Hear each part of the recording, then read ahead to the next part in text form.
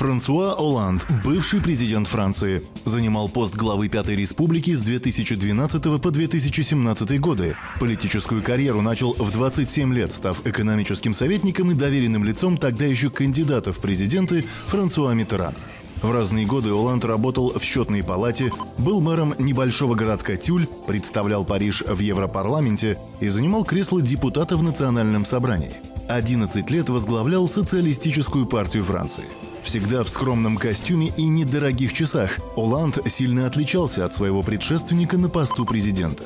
Простой, демократичный и подчеркнуто близкий народу, месье Нормаль – такое прозвище дали Оланду журналисты.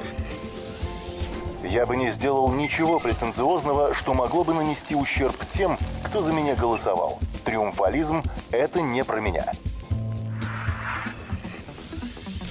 В Елисейский дворец Франсуа Оланд вошел с многообещающим лозунгом «Перемены сейчас» и начал их с себя. Сократил президентскую зарплату и штат личной охраны. Затем урезал оклады министрам и топ-менеджерам госкомпаний, а также инициировал во Франции масштабную трудовую реформу.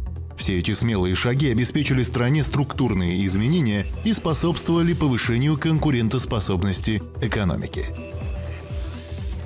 Когда надо действовать, не надо прятаться. Чтобы быть популярным и избежать акций протеста, надо избегать реформ. Но это не мое кредо.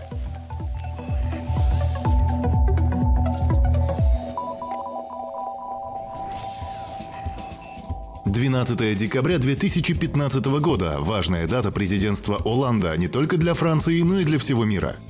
В этот день под его председательством в Париже было принято глобальное соглашение по борьбе с изменением климата. Французский президент первым из мировых лидеров поставил под документом свою подпись со словами «Это наша возможность изменить мир». Мы должны задать себе вопрос, способно ли человечество принять решение, от которого зависит сохранение жизни на Земле.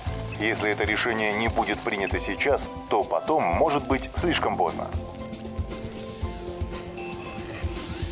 В декабре 2016 года Франсуа Оланд заявил, что не будет баллотироваться на второй срок, редкий случай в истории Франции. После ухода с поста президента он возглавил фонд «La France Engage», миссия которого заключается в поддержке инноваций, направленных на создание социальной и солидарной экономики. Уходить из политики совсем Оланд пока не собирается. Придет время, и я еще скажу то, что должен сказать, пообещал экс-президент.